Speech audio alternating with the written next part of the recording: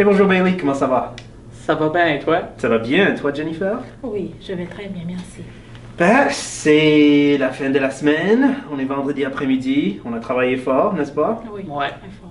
J'aimerais qu'on fasse un petit tour de table pour euh, parler de projets auxquels on a, on a travaillé cette semaine. Jennifer, qu'est-ce qui t'a occupé au cours des derniers jours? Ben, au cours des derniers jours, euh, j'ai travaillé euh, sur un des projets qui est la création de logo et un site web euh, du projet Repenser l'Acadie dans le monde, études comparées et études transnationales. Donc, euh, j'avais à créer le logo, ce que j'ai fait, et on a acheté le logo avant-hier. Et maintenant, je travaille sur les différentes rubriques euh, qui est la page d'accueil et la page qui est la rubrique Notre équipe. Donc, en ce moment, je recueille les, et les photos d'environ une vingtaine de chercheurs.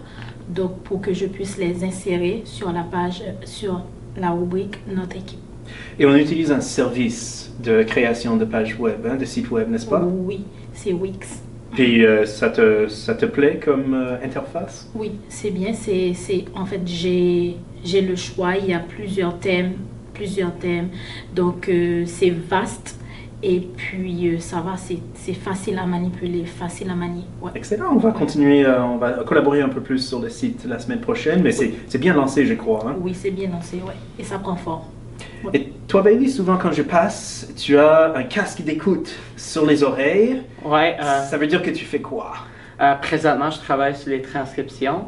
Donc, la semaine dernière, j'ai complété la transcription d'un monsieur Jeremy Hidalgo. Puis qu'est-ce que tu veux dire transcription? Qu'est-ce que c'est quoi? Donc, euh, j'écoute les entretiens que tu as fait en Louisiane, puis il faut que j'écrive chaque mot que chaque personne dit pendant le- l'entretien.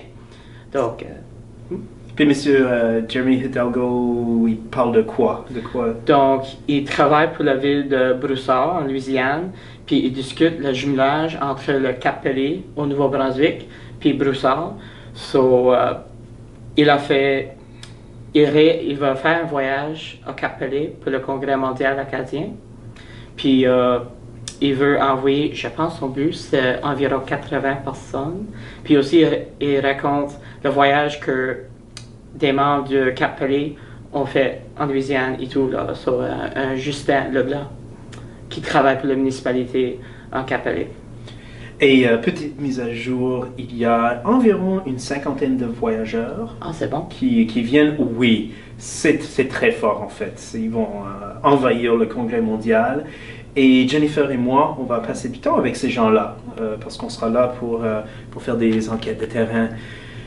Ben, je, vous- dirai rapidement un projet auquel moi j'ai travaillé. La réalité, c'est que j'ai pas fait énormément de travail, parce qu'on a des invités qui sont venus hier soir faire une présentation de poésie et de musique. Vous étiez là, vous avez beaucoup aidé. J'ai vraiment apprécié cette prestation-là qui a été offerte par Violaine Forêt, euh, une Montréalaise d'origine acadienne qui visite la baie Sainte-Marie pour un projet de recherche. Vous avez parlé avec elle, hein, tous les deux? Ouais. Oui? Euh, et elle a lu de la poésie pendant qu'on a eu également des chansons interprétées par euh, euh, Vicky Porter qui vient ici de la région. Moi j'ai trouvé ça pas mal magique. Hein? Tu as fait de la cuisine, Jennifer? Oui, j'ai, j'ai cuisiné le poulet en sauce, ouais. Les gens ont beaucoup aimé ça. Oui. Oui. Et ils ont tout mangé, ouais. C'est mon souper ce soir parce qu'il restait deux morceaux que j'ai ramenés à la maison. Ouais. Voilà. Mais je partage avec mon épouse. Quand même. Euh, et, et en parlant de Violaine Forêt, euh, elle a mentionné hier soir que son père était un cinéaste, un pionnier du cinéma en Acadie, Léonard Forêt.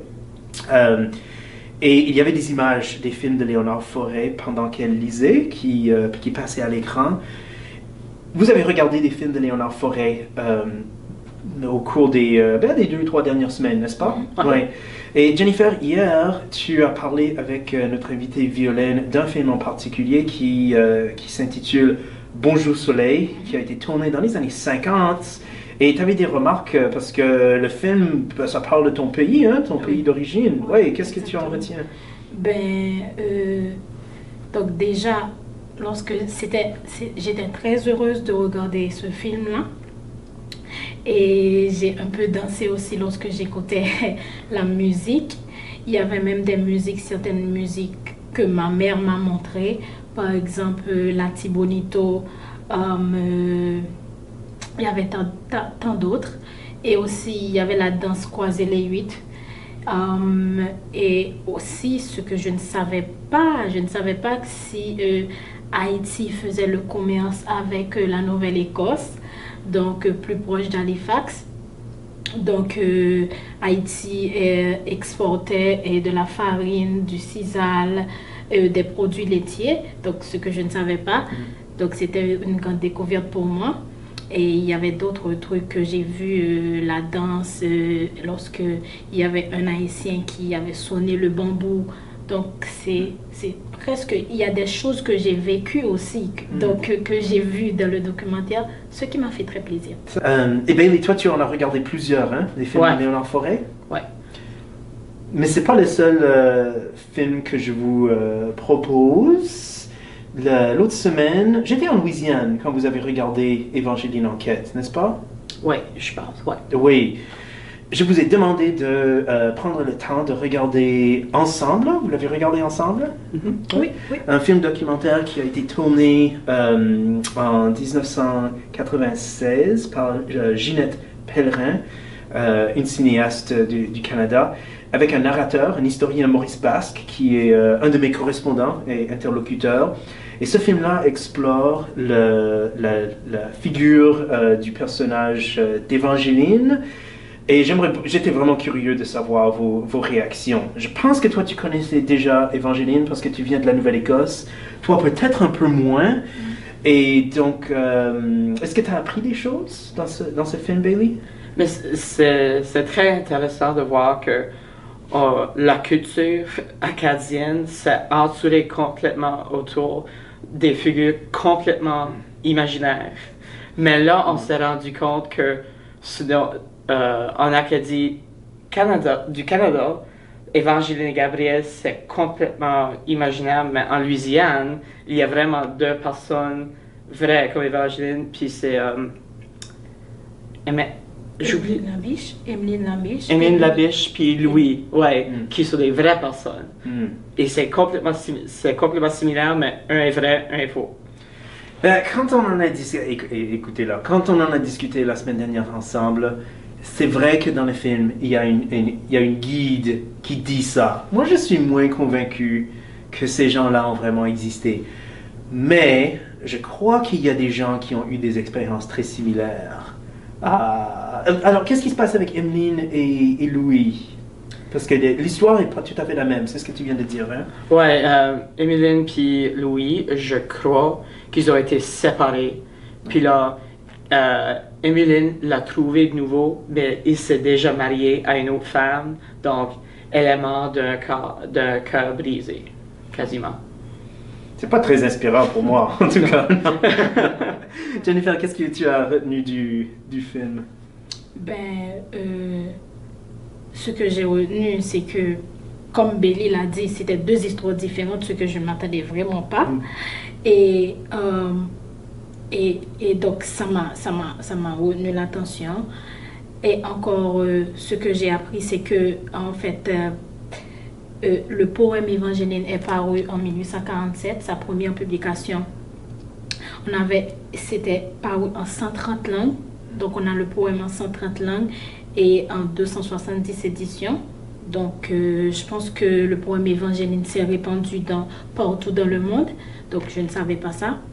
Et euh, même, même, en fait, dans, dans le documentaire, c'est comme si les gens vivaient ce qu'ils disaient. C'est comme si c'est des choses qui se sont passées ou c'est, c'est une histoire de bouche à oreille, les, les ascendants ont vécu. Donc, euh, ils vivaient ça, ils racontaient ça comme une histoire qui est tout à fait normale. Mais, mm-hmm. Et arrivé un moment, je pensais que c'était vrai. Mais c'est après que je me suis rendu compte que c'est, c'est juste de l'imagination, c'est juste une histoire euh, créative. Donc, euh, c'est, en gros, c'est ce que je peux dire de... mais, somme toute, c'est un très beau documentaire, un très beau, un très beau court-métrage. N'est-ce pas? Oui. Pas, Trop, pas trop sérieux non plus. Hein, Jennifer, as-tu eu la chance de visiter euh, Grand Pré le site de Grand Prix en Nouvelle-Écosse? Non. Oh, bah, malheureusement. ce sera peut-être à faire, hein? Oui. Parce que quand on y arrive, il y a, il y a de la vraie histoire hein, qui est présentée, mais il y a une superbe statue d'Évangéline qui est dans le film, hein, certainement, certainement. Oh, bah, peut-être qu'il faudrait que l'équipe de la chaire Hmm. fasse un petit, une petite excursion. Oui, oui. Oui. Ce serait bien, ouais. C'est très beau, là. Ben vous deux, c'est après qu'on aura fini notre conversation, ce sera la fin de semaine. Pour moi, ça va être euh, le festival acadien de Clare qui commence. Toi, tu vas assister à des festivités? Oui. Toi, Je- tu- Je vais assister, ouais. Toi, tu reviens dans la région pour ça ou euh, tu vas Moi, rester à Digby? Moi, je suis un tournoi de curling à Metegan. Excellent. Ben, je- on va euh, te souhaiter bonne chance. Merci. Ton équipe a gagné hier soir. Oh, euh, ce matin, en fait, on a déjà gagné un jeu. Il nous reste quatre. Bravo. Ben, merci à vous deux. Merci. Merci beaucoup. Ouais, merci.